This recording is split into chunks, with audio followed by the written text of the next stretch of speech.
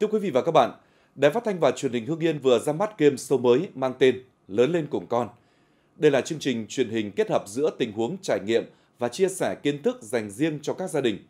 Chương trình có sự xuất hiện của diễn giả nổi tiếng Phan Hồ Điệp, mẹ của thần đồng Đỗ Nhật Nam. Tham gia chương trình Lớn lên cùng con, các em nhỏ sẽ được tự mình trải nghiệm những tình huống thực tế mà không có sự tác động từ phía người lớn.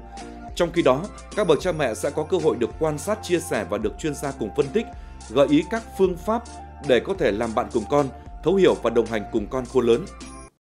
Nhận lời tham gia chương trình này thì vợ chồng em cũng có một số những cái nó hồi hộp à, cũng không biết là à, chương trình à, sẽ đưa đến những cái tình huống như nào để các con phát triển. Sau khi tham gia chương trình thì em thấy là chương trình là một, một chương trình rất ý nghĩa à, nên là lan tỏa rất rất là nhiều thông điệp đến không những gia đình em mà còn tất cả những gia đình mà có con nhỏ nữa.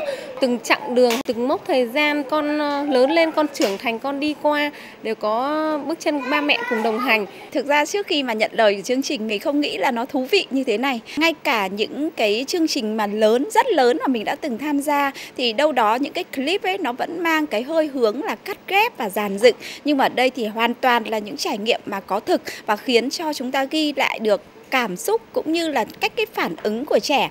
Và nó trở thành những cái bài học cho các bậc cha mẹ. Hãy chấp nhận cảm xúc của trẻ, đồng hành với những cảm xúc đó để nuôi dưỡng trí thông minh, cảm xúc của trẻ.